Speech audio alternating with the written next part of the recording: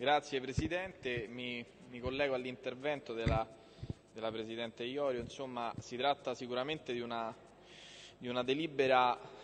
eh, innovativa del panorama eh, mh, legato alle, alle, convenzioni urbanistiche appunto sottoscritte da, da, Roma Capitale. E si tratta di una novità perché ehm, questa, la, il lavoro che è stato fatto nell'arco di questi, di questi tre anni, di cui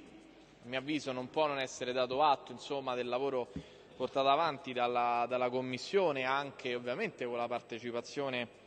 della, dell'opposizione, nell'esaminare spesso delle convenzioni urbanistiche, magari alcune volte datate, che eh, continuano a produrre i loro effetti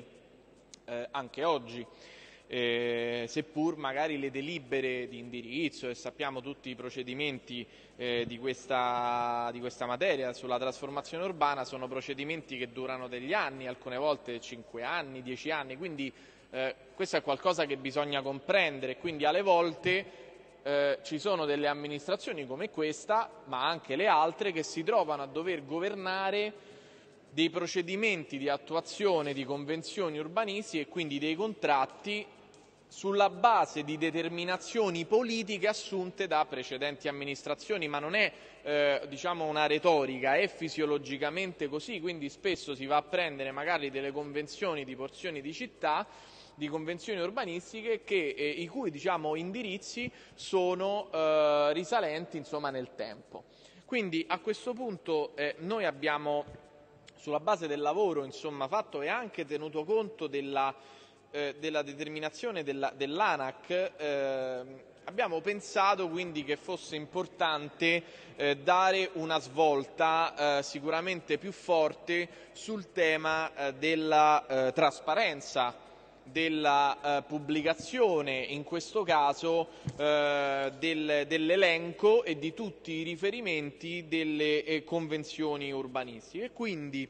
la proposta di delibera che noi sottoponiamo eh, all'Assemblea eh, Capitolina. Eh, abbiamo poi presentato insomma, alcuni emendamenti, ordini del giorno che eh, dopo insomma, illustreremo anche per rafforzare questo, questi indirizzi, però è volta a garantire la eh, pubblicazione integrale eh, de, eh, dell'elenco delle convenzioni, quindi fare in modo che eh, Roma Capitale, poi pre insomma, preciseremo meglio anche di che cosa eh, si tratta, eh, Roma Capitale, la cittadinanza, anche i municipi, possa avere un elenco sempre aggiornato delle convenzioni che sono state sottoscritte da Roma Capitale, ovviamente non quel mese, ma sottoscritte appunto da eh, tutte quelle vigenti eh, o anche quelle decadute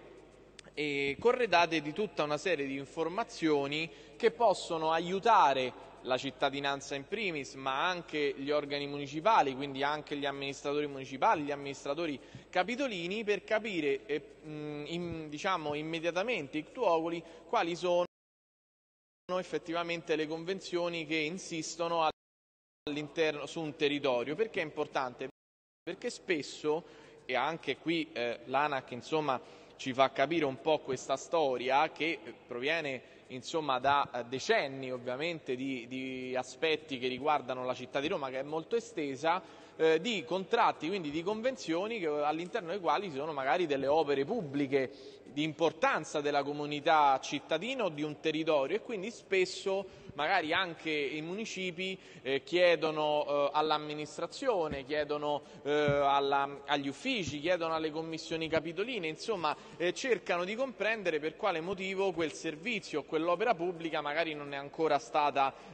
completamente realizzata. Ecco, quindi bisogna fare un passo in avanti da questo punto di vista e fare in modo che tutto l'elenco delle convenzioni eh, sottoscritte da Roma Capitale sulla, in materia di trasformazione urbana possa essere più facilmente accessibile, quindi immaginiamo anche accessibile eh, attraverso tutti gli strumenti idonei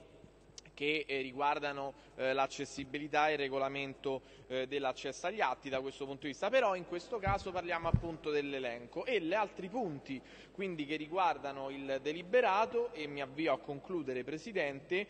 occorre appunto prevedere anche che oltre al mero elenco dove abbiamo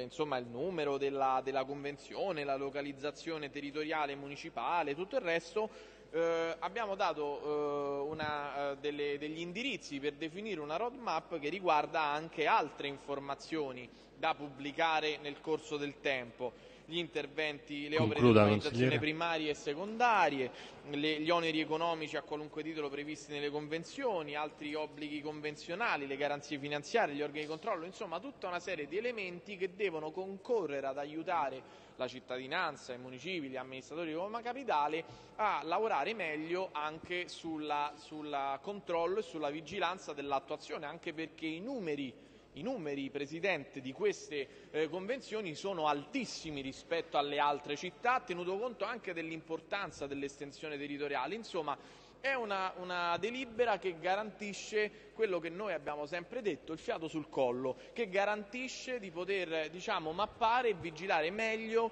sulla, eh, su, queste, ehm, su- su queste convenzioni, quindi che abilita la cittadinanza e l'amministrazione a fare questo tipo di attività. Ehm, in ultimo, eh, Presidente, la, la- diciamo, la possibilità, e questo è diciamo, senza l'indicazione eh, precisa, anche di coordinare ovviamente questa attività con quello che è il- la piattaforma della NIC con tutte queste altre informazioni. Grazie Presidente.